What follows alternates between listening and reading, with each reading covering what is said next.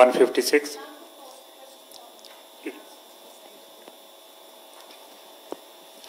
Ma'am मैं शैलेश यादव हूँ ए news agency से।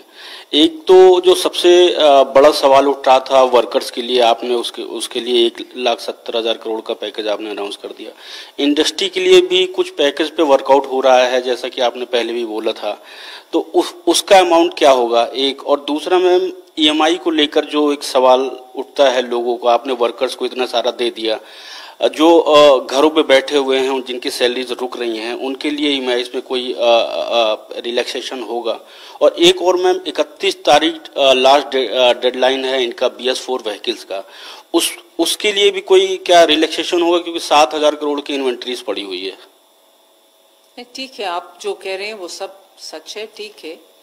आज हम ये वेलफेयर इसीलिए पहला प्रायोरिटी से ले आ रहे हैं, क्योंकि गरीब का उनके घर में कुछ अन्न रहे और उनके हाथों में पैसा होना चाहिए। इसीलिए आज का घोषणा पूरे के पूरे गरीब कल्याण के लिए ही है। बाकी सब विषयों को तो हम अध्ययन कर रहे हैं। अस्सी करोड़ गरीब जनता की तरफ़ से मेरा सवाल ये है कि जो आपने गेहूँ चावल और दाल की बात की है। पाँच पाँच किलो तो सभी लोगों को मिलता है। उसके अलावा आपने कहा पाँच किलो गेहूँ या पाँच किलो चावल। ये प्रति व्यक्ति है प्रति महीने है और एक परिवार को एक किलो दाल प्रति महीने है। क्या ये सही है? हाँ जी।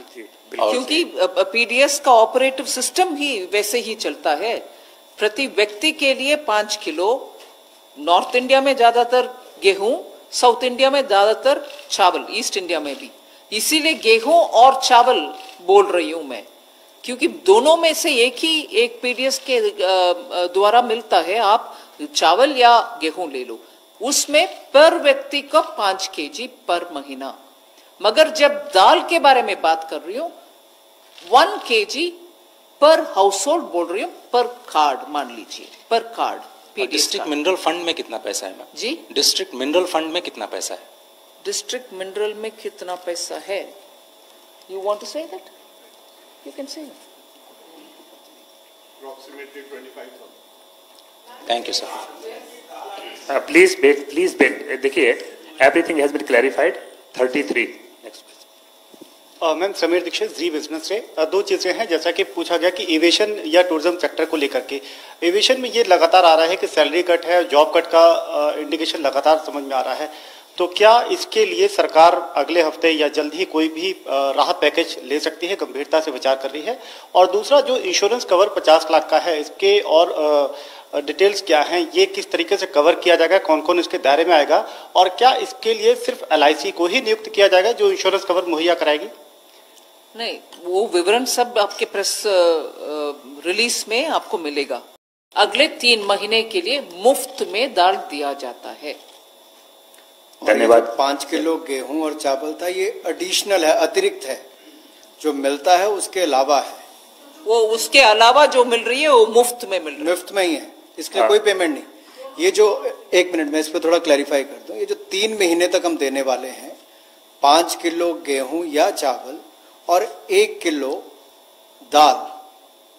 पाँच किलो जो है गेहूँ चावल प्रति व्यक्ति और दूसरा एक किलो प्रति परिवार ये बिल्कुल मुफ़्त में है तीन महीनों के लिए। ये अतिरिक्त है जो उनको कैसे भी मिलता है वो मिलते रहेंगे उससे उसके अलावा। और ये माननीय मोदी जी की भारत सरकार ने पीएम गरीब कल्याण पैकेज के रूप में दिया है जिसमें अन्न के बारे में भी आपको बताया गया धन के बारे में बताया गया है। तो कुल मिला के जो आपकी चिंता ईएमआई और बाकी सब की थी तो मुझे लगता है कहीं ना कहीं देश ने सदा, और हम अपना इतिहास देखें तो गरीब के बारे में पहले सोचा है।